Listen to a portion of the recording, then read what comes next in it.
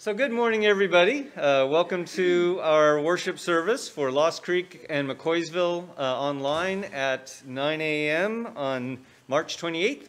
We will begin our worship with the ringing of the church bell.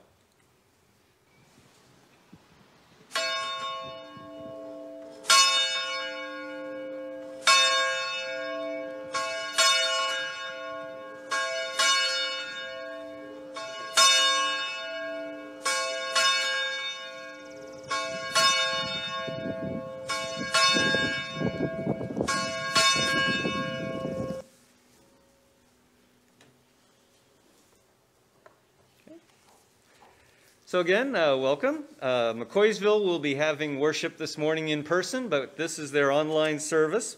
Uh, this morning, McCoysville is collecting their one great hour sharing offering. So if you've been feeding your fish, bring them along.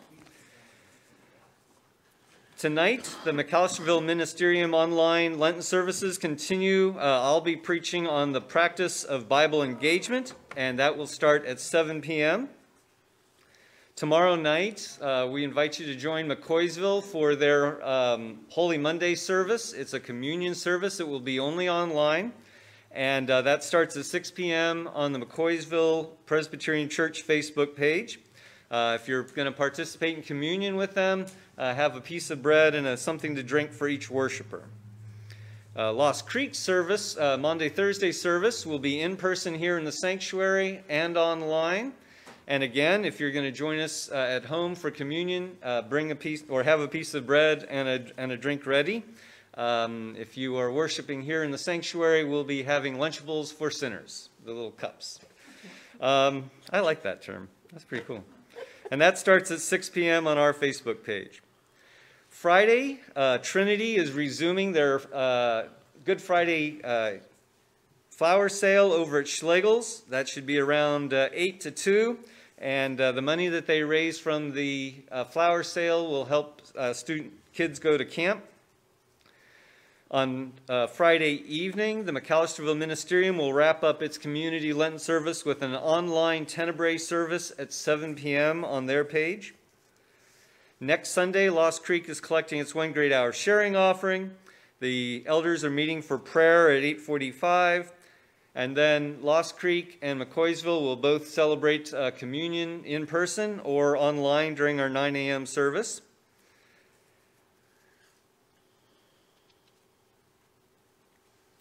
Coming up uh, Saturday, April 10th, uh, if you would like to help beautify our town for spring, Trinity is doing their roadside cleanup. It's uh, basically from the Bread of Life toward Mifflintown on Highway 35. Uh, meet at Trinity uh, at 9 a.m. And then um, after you've gone out and cleaned up the road, then you can come back and get a uh, takeout breakfast. On Sunday the 11th, uh, we will be collecting a love offering for our college students.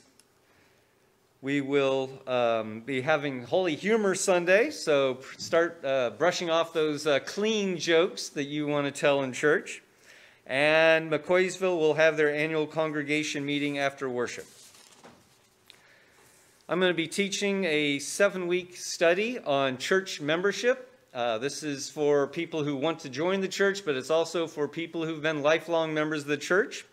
Uh, it'll be Wednesdays at 7.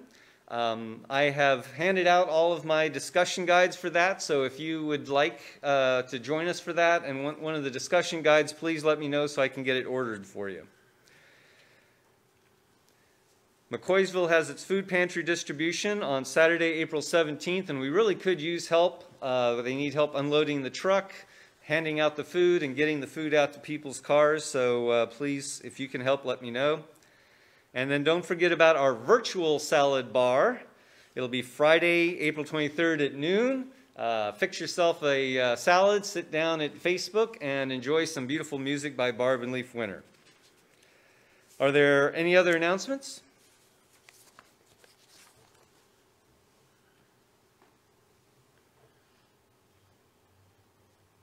Doesn't look like it. Okay.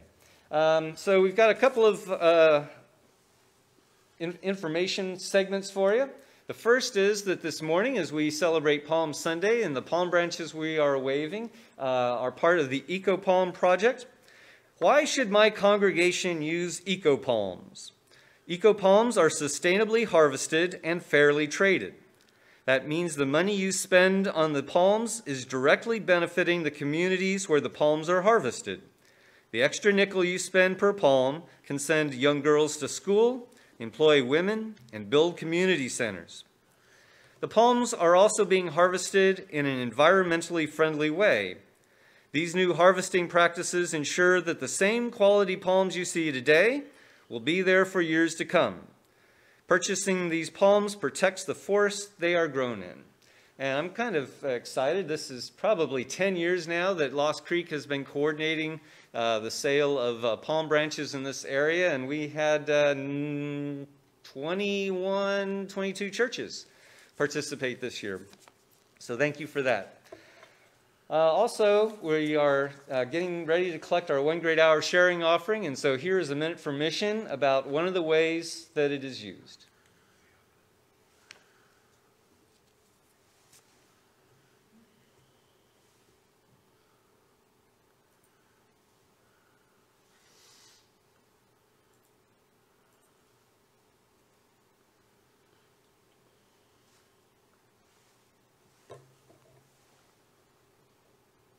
Because healing empowers. Mama O is a survivor, a healer. Her moment of greatest need led her to Black Women's Blueprint, a civil and human rights organization headquartered in Brooklyn, New York. Since 2008, Black Women's Blueprint is specifically focused on the needs of black women and girls. At 65 years of age, Mama O is among the eldest survivors of sexual violence in the organization. Despite living with the lifelong trauma that results from sexual violence, Mama O is a pillar of strength for other survivors, both young and old. Our one great hour of sharing gifts are helping Black Women's Blueprint in its vital mission to take action on social justice issues and to deliver educational resources and support services to women like Mama O. Through their work, they seek to address the unique struggles of black women and girls within the context of the larger racial justice concerns of black communities. Through all of Mama O's ups and downs, she returns to community, holistically and ever present, said Savannah M. Brown, the organization's associate executive director. She has continued to contribute creative healing arts and spiritual intercessory prayer on behalf of our survivor communities, carrying us through transitions, challenges, and triumphs. Despite the challenges of the ongoing pandemic, Black Women's Blueprint continues to be out in the community, addressing issues of trauma and providing very important things like food, and housing assistance that people need in order to be made whole. Mama O is just one example among the many women who now bless and lift up others, an ongoing benefit of the organization's partnership with the Presbyterian Church USA, for which Brown is especially grateful. We want to share our gratitude for the continued leadership that the One Great Hour of Sharing and self-development of people partnerships have shown over the years, said Brown. We are hopeful that times will grow brighter and that we will come out on the other side of this with more wisdom, care, compassion, and strategies for healing our communities and walking hand in hand towards a future of greater possibilities and opportunities to center survivors as the key to community thriving and justice. Thanks to our gifts to the One Great Hour Sharing Program, programs like Black Women's Blueprint are lifting up women just like Mama O. Every gift makes a difference in the life of someone who deserves God's love and support, someone who deserves our love and support. We are the church together. And when we all do a little, it adds up to a lot. Let us pray holding and loving God, provider God, May our healing spring up quickly. As the prophet Isaiah proclaims, may these gifts, God our physician, be a balm and medication for your people and your world. Amen.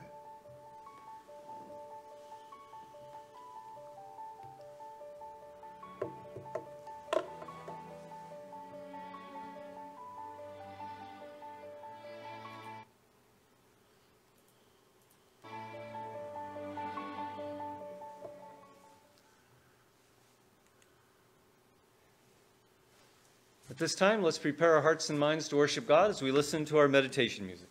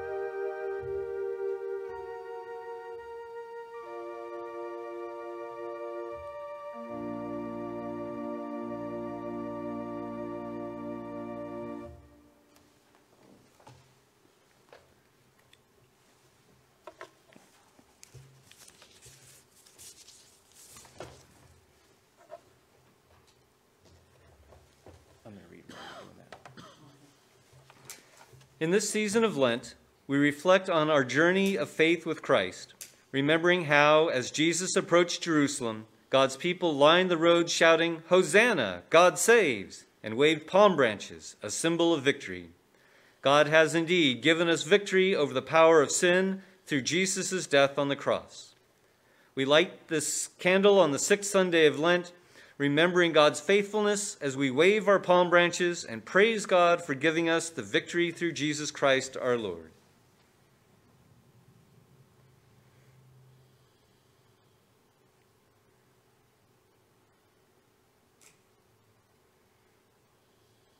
Thank you. Let us pray. As the days lengthen, dear God, may we remember that just as spring sets our world free from the cold and darkness so that new life can bloom, Christ's death on the cross sets us free to fill the world with the beauty of your love. In the name of Christ, with whom we journey towards the cross, we pray. Amen. So, we want to wish everyone peace be with you. Of course, peace be with you and also with you. And as everybody here wishes everyone peace.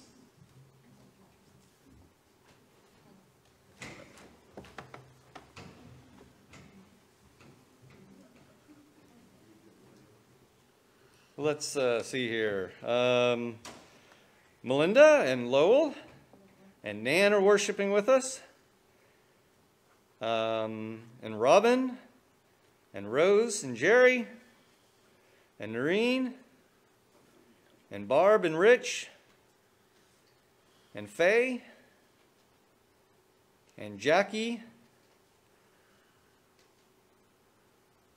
I keep seeing the same names popping up, so I'm guessing people are having trouble with their internet at home. It's one of those days. Sorry about that, folks.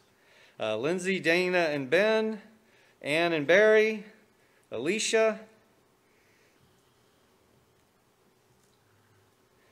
Tessa and Reese.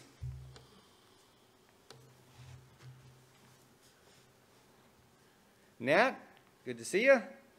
Sandy and Dave. Cheryl.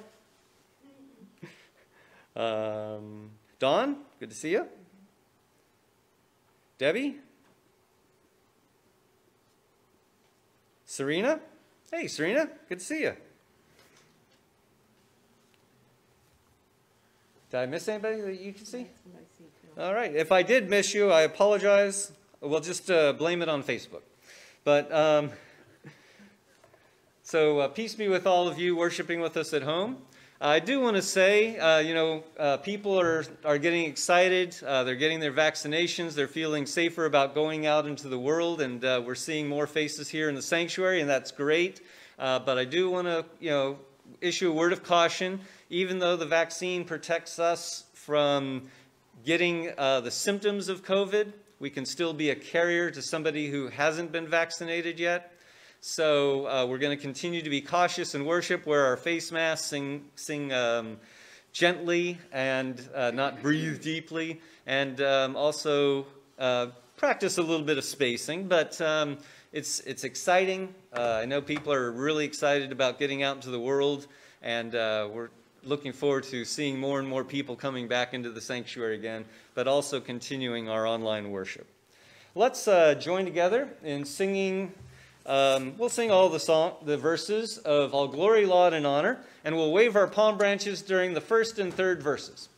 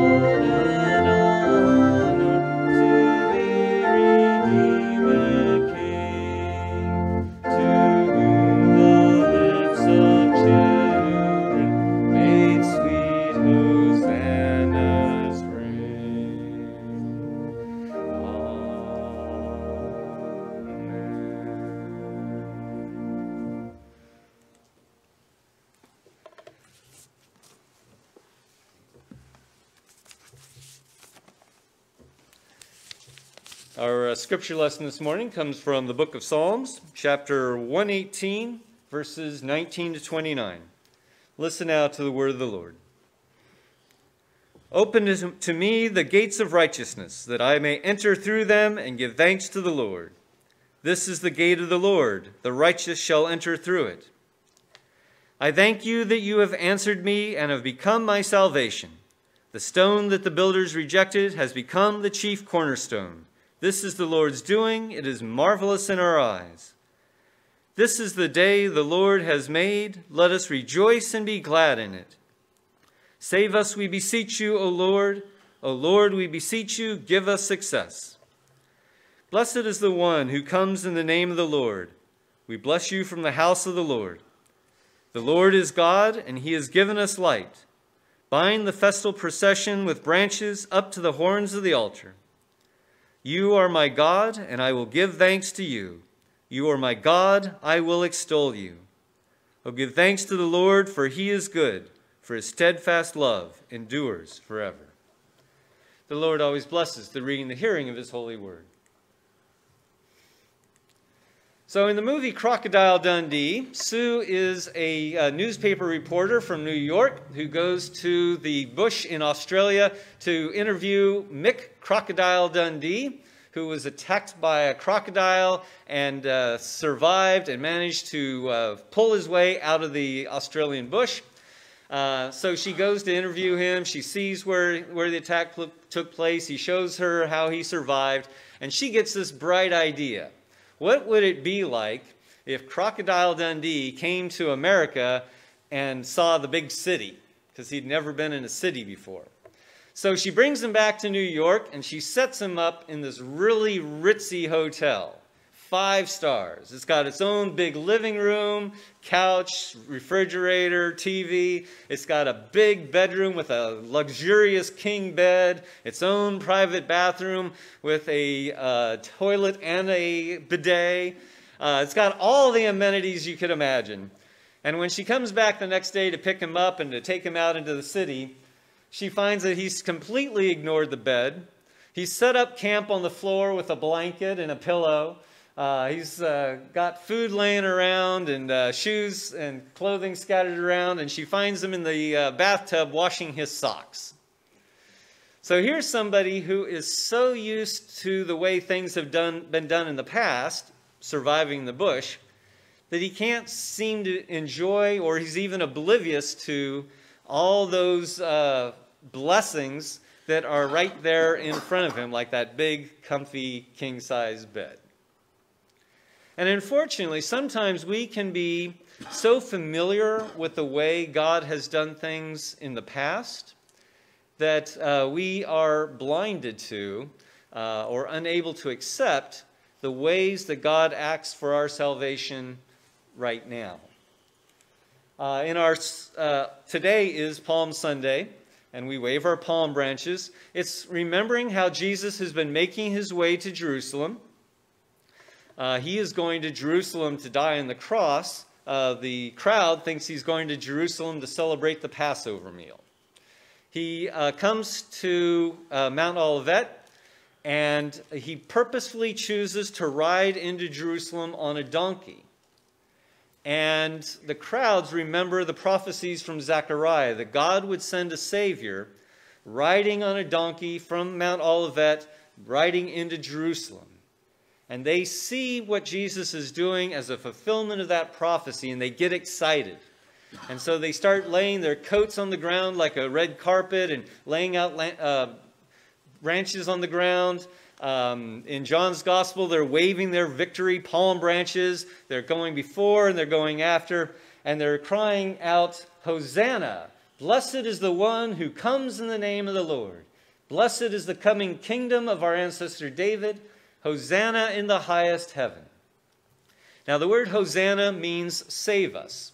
And the words in red, Hosanna, blessed is the one who comes in the name of the Lord, comes from our scripture lesson this morning, from Psalm 118. Psalm 118, the first half of it, is a psalm of thanksgiving to God for all the ways that God has saved the psalmist. And it was used as a psalm that pilgrims sang as they were making their way to Jerusalem, through the st- streets of Jerusalem, to the temple to worship God during one of the feasts.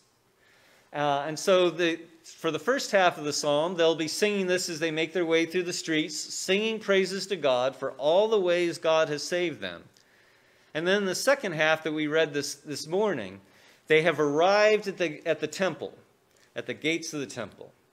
And so it begins with the uh, psalmist uh, asking for permission to enter into the temple to give thanks to God. Open to me the gates of righteousness. And the crowd responds, The righteous shall enter through it. And when it says righteous, it's not talking about people who've lived perfect lives. It's talking about people who have put their trust in God to save them. And because the psalmist has been singing his praises to God for all of his salvation, um, it's clear he trusts in God, so he is allowed to enter through the gates, and the whole crowd goes into the Temple Mount. Uh, he begins to say thanks to God for his salvation. He says, The stone that the builders rejected has become the chief cornerstone. And the people respond, This is the day the Lord has made. Let us rejoice and be glad in it. So uh, the chief, the uh, stone that the builders rejected, the psalmist feels like his enemies uh, thought of him as nothing, rejected him, cast him aside as worthless, and yet he can give thanks to God for raising him up and doing great things in his life and the people say, This is the day the Lord has made. And it's not just talking about each and every day, it's talking about the day of salvation. Today the Lord has acted to save us, and we will rejoice and be glad in it. The song goes on to say, uh, The people respond to, to God, You have saved us in the past, save us now, continue to bless us now. Save us, we beseech you, O Lord. O Lord, we beseech you, give us success and they trust that God will indeed continue to save them and continue to bless them.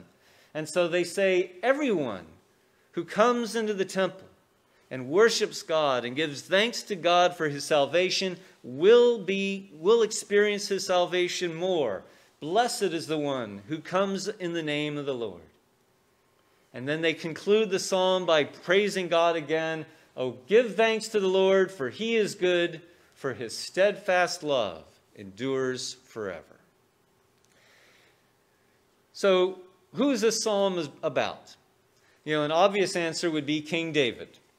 As you recall, uh, David was the youngest son of one of the least important families, of the least important uh, clan within, within their tribe. And yet, even though even his own brothers didn't think he was worth anything, God takes David and raises him up to greatness. God anoints him and chooses him to be king over Israel and gives David the wisdom and the power to defend Israel against its enemies and to bring Israel peace. So it's obvious that you know this psalm is, is, can be read from that point of view. But uh, the Israelites considered the psalm from a, the point of view of all of Israel. They remember the story of the Exodus from Egypt, how they were slaves, how they were considered worthless and cast aside. But then God rescues them. He saves them. He brings them through the Red Sea. He brings the Red Sea crashing down upon the Egyptian army. He rescues them. He sends them through the wilderness and into the promised land and gives them this promised land to become a mighty nation. God chooses them and raises them up to greatness. But that wasn't the only time God acted to save them. Many uh, generations later, uh, because of their constant sinning against God, God would allow the Babylonians to take them into exile. And the Babylonians would destroy the city of Jerusalem and burn down the temple. But that wasn't the end of the story. Even though they felt worthless and cast aside living in Babylon, God rescued them. God raised them up and brought them home and continued to uh, call them to be his people. And so this psalm uh, could be used by anybody who felt like God had done great things for their salvation in the past, and they wanted God's salvation now, and they could cry out to God for help. And so we see in, our, uh, in the story of, of Palm Sunday, the Jews are their own kingdom, but they're a puppet kingdom of Rome. They really are looking back to the past when God had rescued them and raised them up to be a mighty kingdom. They were looking for that to happen again. And so when they see Jesus uh, riding on a donkey into Jerusalem, they think this is it.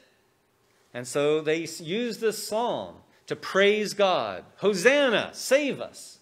Blessed is the one who comes in the name of the Lord. In this case, they're talking about Jesus riding into Jerusalem to save them from the Romans. Blessed is the coming kingdom of our ancestor David.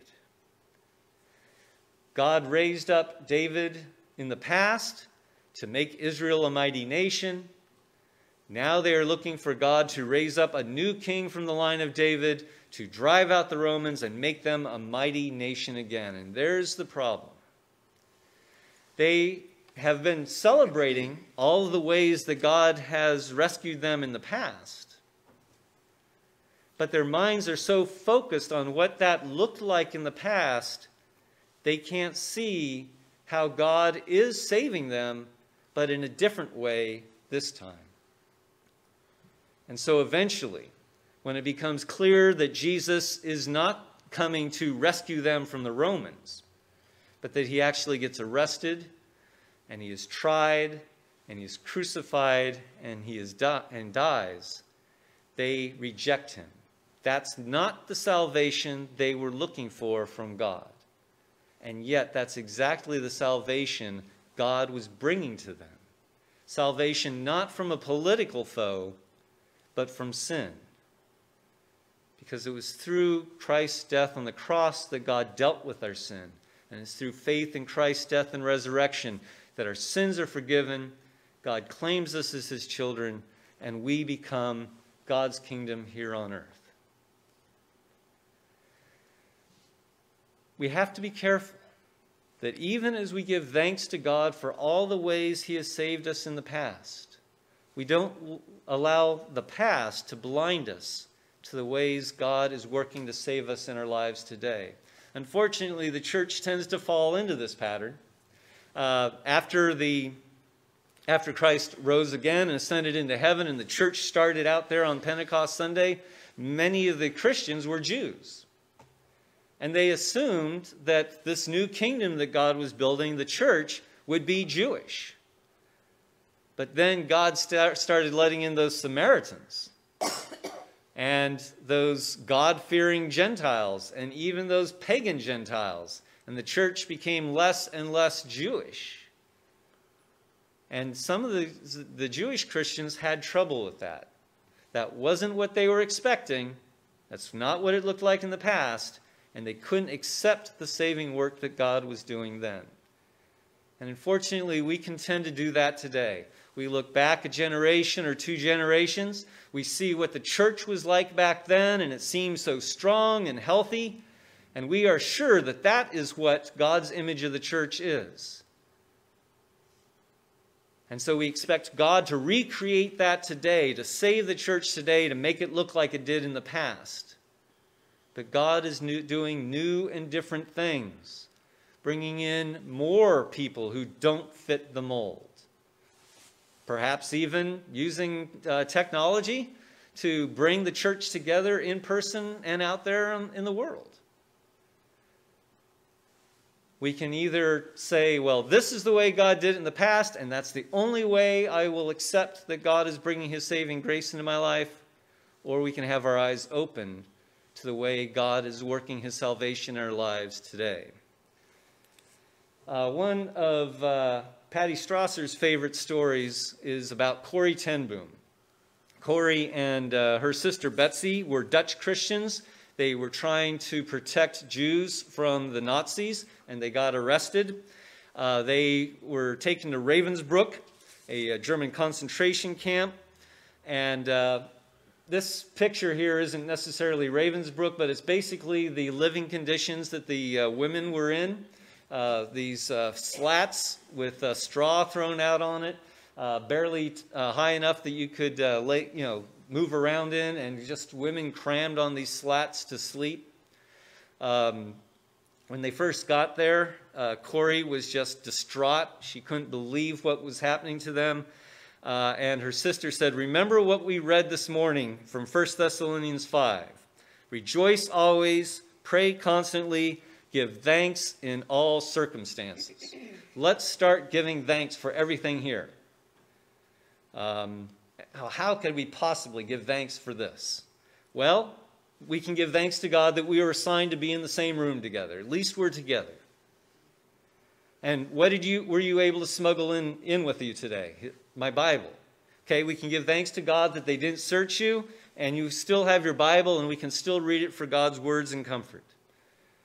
We can give thanks for the crowding because the, the, uh, with the, all this crowd here, we can be uh, talking to everybody uh, easily about God and sharing, sharing the faith with them.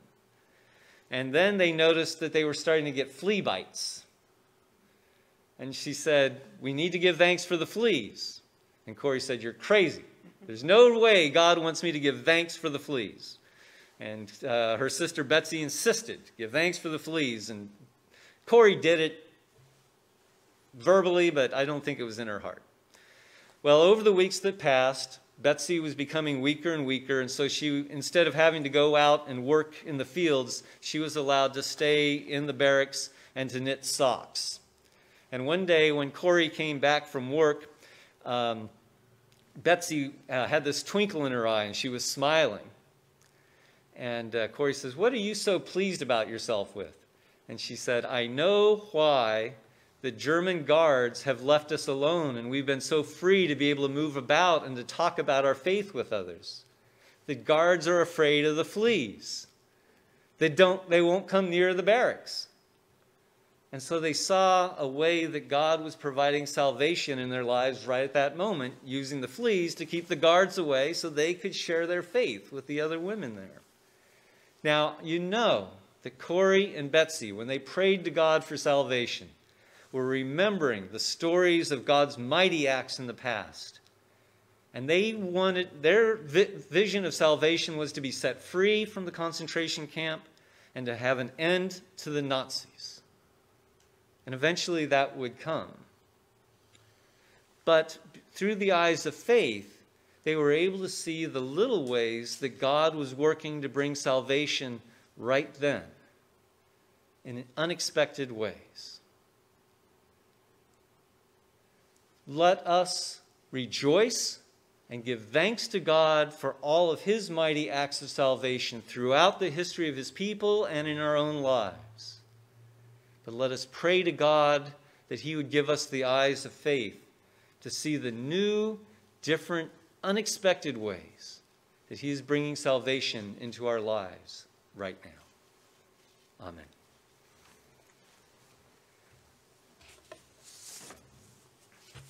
This morning, as we come to the Lord in prayer, um, we are praying for East Waterford Presbyterian Church, a place where unconditional love changes lives Please join us this week as we pray for East Waterford Presbyterian Church and the Reverend John Park. The church's core mission is not just to love one another, but to make sure they spread the love of the gospel everywhere. Let us pray for the leadership of the pastor in session as they continue to experience and share the warmth of faith and the strength of Christian community. So keep their, them in your prayers this week.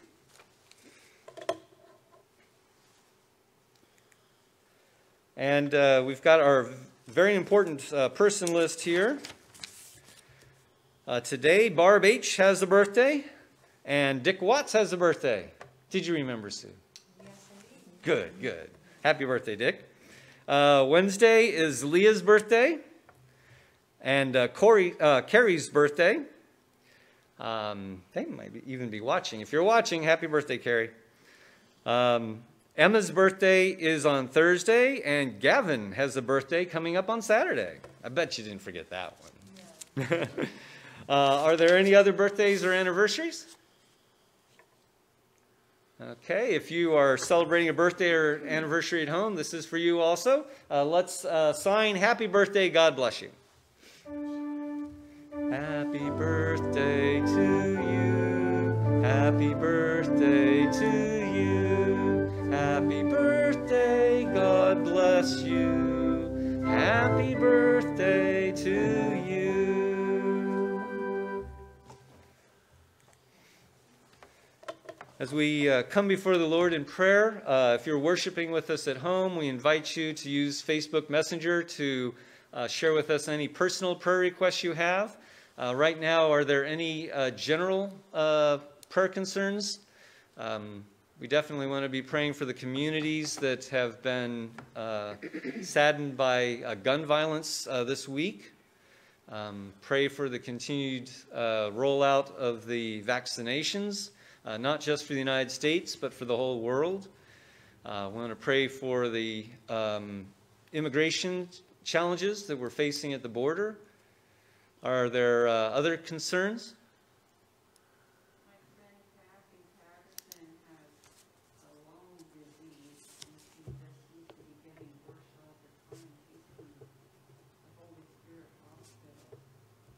Okay. So a friend uh, has lung disease and um, it seems to be getting worse. So let's uh, be praying praying for her.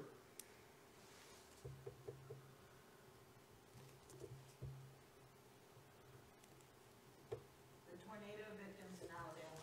Right. Tornado victims.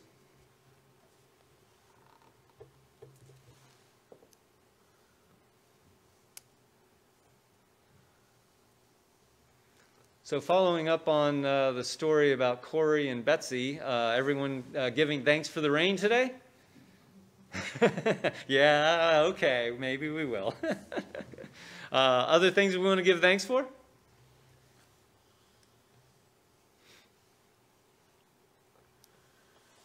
All right, let's come before the Lord in prayer.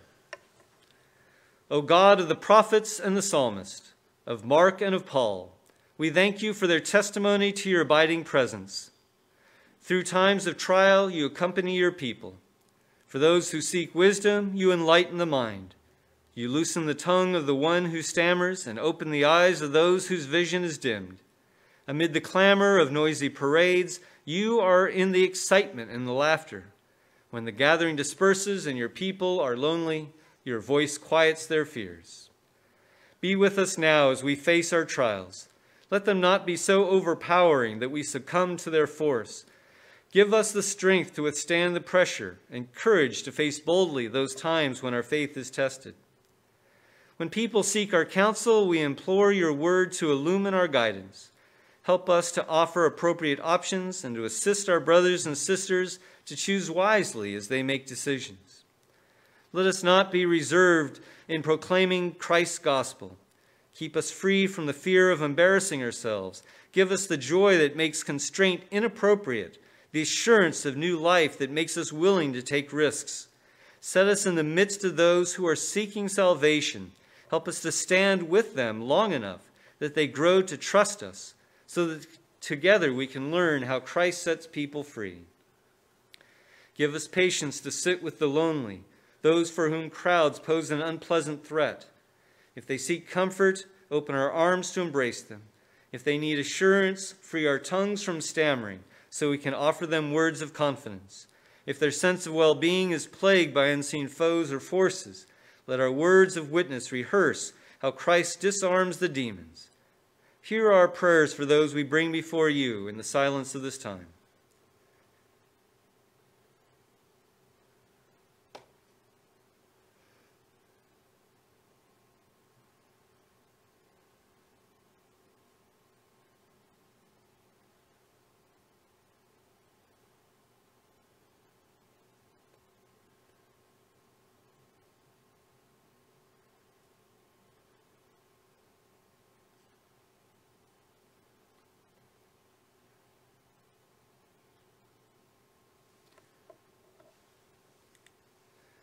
Through times of trial, you do indeed accompany your people. We sense your spirit moving among us as we go forth to serve others in Christ's name. And so we offer all our prayers in the name of Jesus Christ, who taught us to pray together, saying, Our Father, who art in heaven, hallowed be thy name. Thy kingdom come, thy will be done, on earth as it is in heaven. Give us this day our daily bread, and forgive us our debts as we forgive our debtors. And lead us not into temptation, but deliver us from evil. For thine is the kingdom, and the power, and the glory forever. Amen.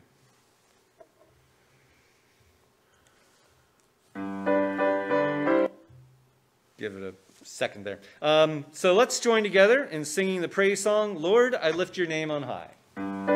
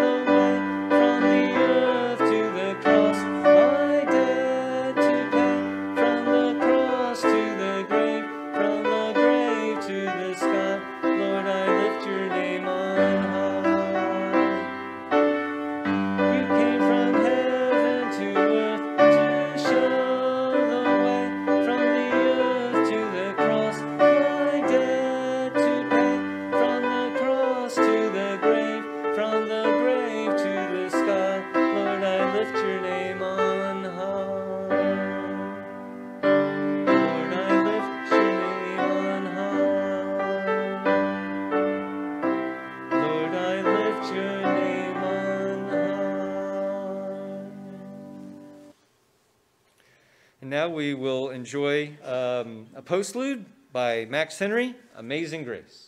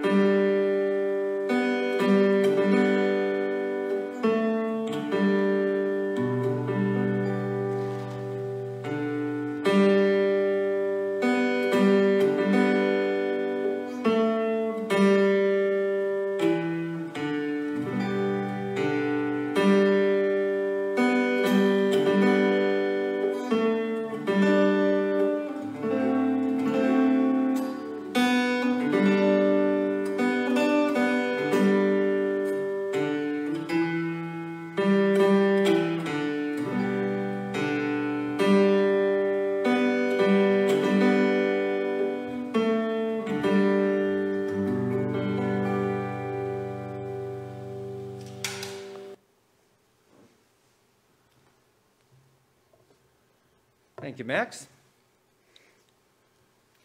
Um, now we've been uh, singing um, one praise song this this month and learning the signs for it, but our scripture lesson this morning included the uh, the verse, "This is the day the Lord has made; let us rejoice and be glad in it." So we will use that as our praise song. Um, just a reminder uh, for the the signs. This is the day the Lord has made.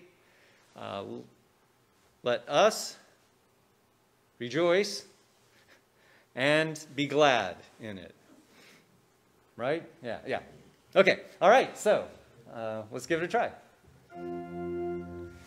This is the day, this is the day that the Lord has made, that the Lord has made. We will rejoice, we will rejoice and be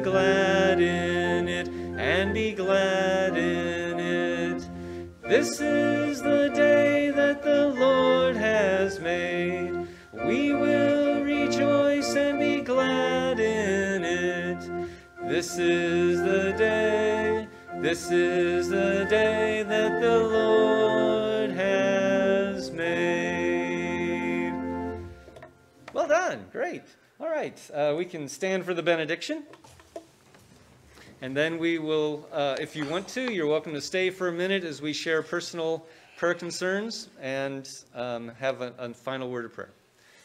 Now may the grace of our Lord and Savior Jesus Christ, the love of God the Father, and the fellowship of the Holy Spirit descend upon you all and be with you all, now and forevermore. Amen.